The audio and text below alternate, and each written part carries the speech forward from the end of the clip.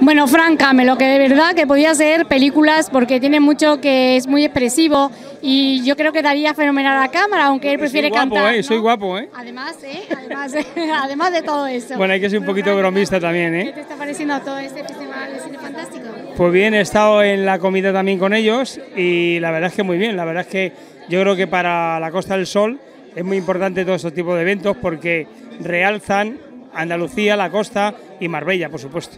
Yo- tú eres un hombre de éxito. Yo creo que si te pusieran de protagonista en alguna de las películas sería éxito total, porque todo lo que tocas se convierte en oro. O sea, hemos visto el parque, todo tu negocio, cómo funciona. Yo creo que habría que hacer un llamamiento a todos estos cineastas eh, para que cuenten contigo de protagonista de alguna película. ¿Qué papel te gustaría interpretar? Bueno, yo creo, yo creo que todo esto que has dicho, eh, culpa de ellos, mis empleados que trabajan muy bien y gracias a Dios pues tengo suerte también en la vida, ¿no?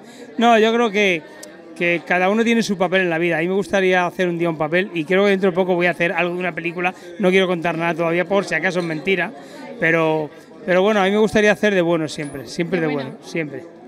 Yo prefiero de Siem- bueno. Siempre de bueno. Pero Yo- bueno, si nos dan un papel, de, eh, intentaremos interpretarlo lo mejor que sea. bueno, porque no sea, que no sea muy de malo, muy de malo, pero malo. Pues gracias, Frank, que te pases bien en esta de nada, peli. que lo paséis muy bien y que disfrutéis todos. Gracias. Chao.